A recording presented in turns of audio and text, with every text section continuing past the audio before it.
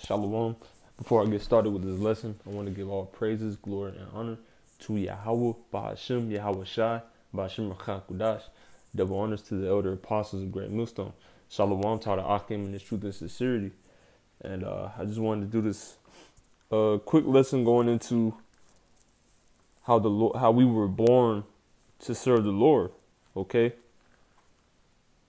the Israelite man, we were born to serve the Lord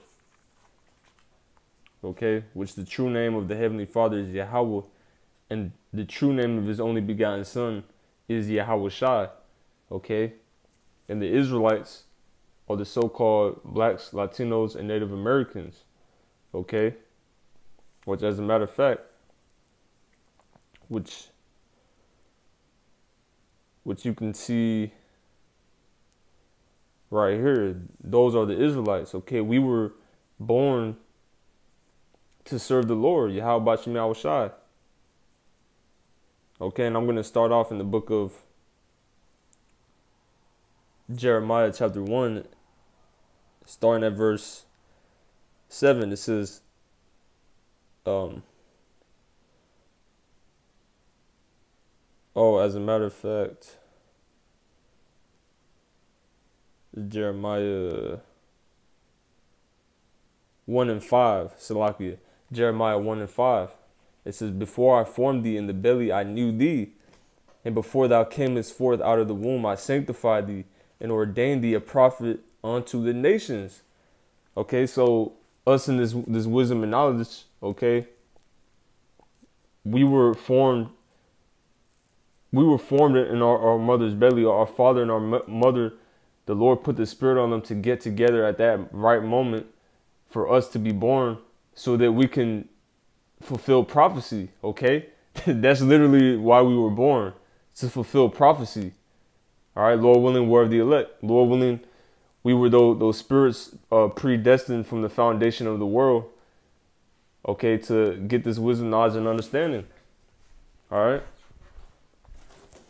But continuing on, it says, well, let me read it again. It says, Before I formed thee in the belly, I knew thee and before thou camest forth out of the womb, I sanctified thee, and I ordained thee a prophet unto the nations. All right. Let me read that in the NLT. It says, I knew you before I formed you in, in your mother's womb. And that shows that everything is predestined. Okay. Um, the world has, has a, uh, there's this false narrative that there's, there's such a thing as free will or such a thing as, uh, a coincidence or or randomness. That's not the case. The, the Heavenly Father, He controls everything. He predestined everything. Okay, before He even created anything, He He predestined this whole this whole uh this whole scenario, this whole movie. All right, the Heavenly Father is the ultimate uh, director. When you look up the word theater, it goes back to the word theos, which means God. It says before you were born, I set you apart and I appointed you as my prophet to the nations.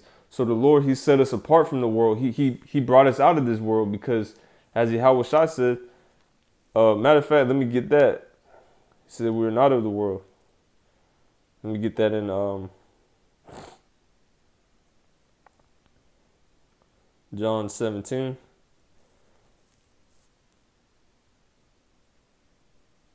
All right, because we're following in the same, we're following the footsteps of Yahweh Shai. Okay, everything, the example that Yahweh Shai said, we're, we're following his example. Because he's the shepherd, we're his sheep. But uh, let me see, what verse is that? What verse is that?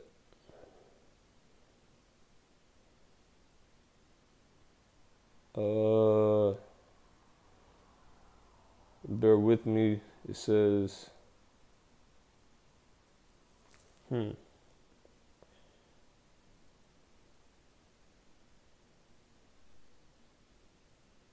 I'll, I'll get uh, John 17 and I'll start at 15. It says, I pray not that thou shouldest take them out of the world, but that thou shouldest keep them from the evil. So th- this whole chapter was a prayer of, of Yahweh for the elect. Okay, and he prayed that, that the Lord didn't take us out of the world, meaning he prayed that, that the Lord had us be born at this uh, particular time. All right, he didn't pray for us to, to for the Lord to just keep us in the spirit world. He prayed for us not to be taken out of the world, but that we should be uh, delivered, protected from the evil. That's what the word uh, keep means. Matter of fact, let me get that word for keep. I want to see what that says. You know, it's always good to look at words. See, it says uh tereo, tereo. And it says to attend carefully, take care of, to guard. It says to keep one in state which he is. All right, to reserve to under undergo something. So the Lord, He kept us from the evil of this wicked world because we have a purpose to serve the Lord, to to fulfill prophecy, all right, to prophesy unto the nations. Okay, to, to tell tell you so-called uh, blacks, Latinos, and Native Americans to repent. Okay, and, and Lord willing, the elect, the elect uh, uh, uh, that's among the world right now, Lord willing, they hear the message and, and they, they they convert. All right, that's that's uh, that's that's the goal, all right. But that's up to the Lord, okay? Because not everyone is gonna uh, get this word. It says, verse sixteen. There's a point. It says, "They are not of the world, even as I am not of the world." All right. So just like Yahweh Shai was wasn't was not of the world, we're not of the world. That's why the Lord sanctified us and made us a prophet unto the nation, unto the nations. Okay. It says, "As thou hast sent me into the world, even so have I have I also sent them into the world."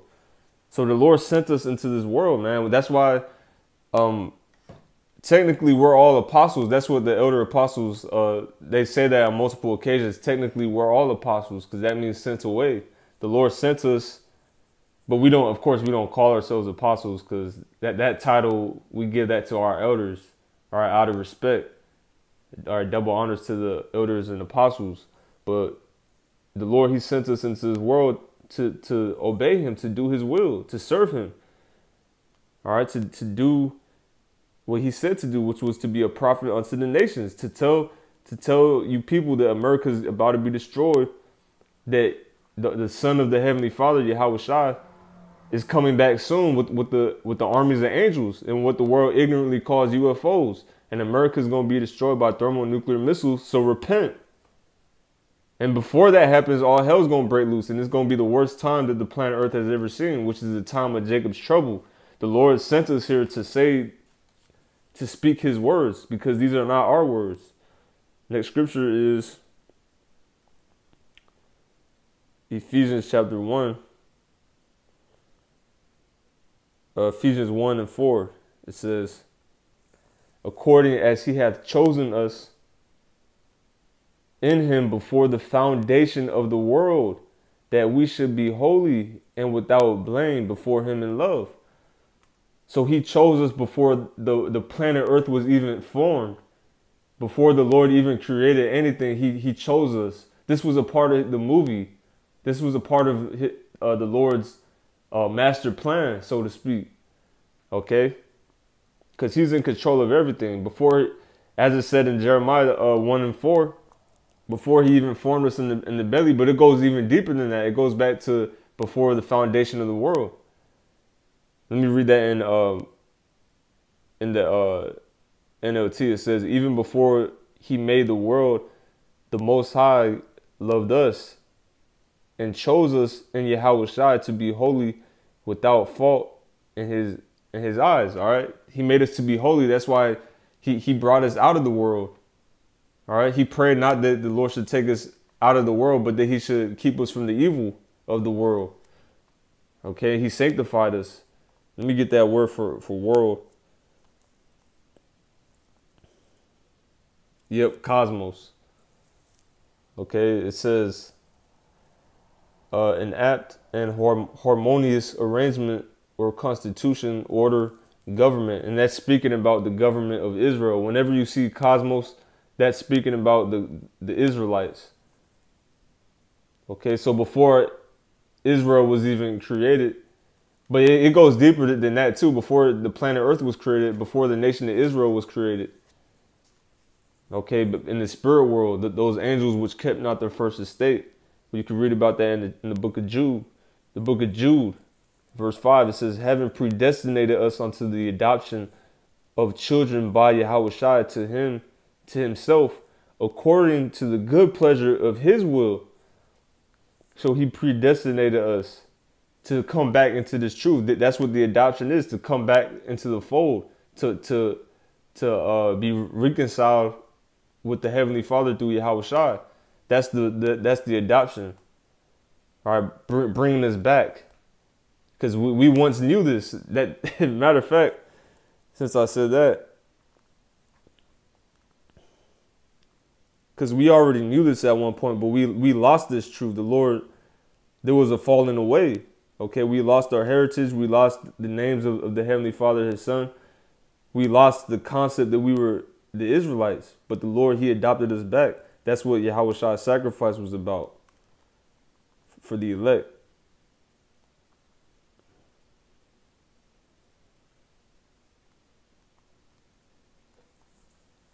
Yep, that's in the book of Jude, Jude 1 and 5. It says, I will therefore put you in remembrance, though ye once knew this, how that the Lord, having saved the people out of the land of Egypt, afterward destroyed them that believe not. So he put us in remembrance. He causes us to remember of this wisdom, knowledge, and understanding. First and foremost, beginning with his names. Because when we heard those names, man, we knew that that was it. That this is the truth. Okay, speaking for myself, I knew when I heard Yahweh Bashim Shai, that's it. That's the truth. Okay, so the Lord, He stirred up our pure minds, as the scriptures say. But um, I'll end off with this. Ecclesiasticus chapter 12.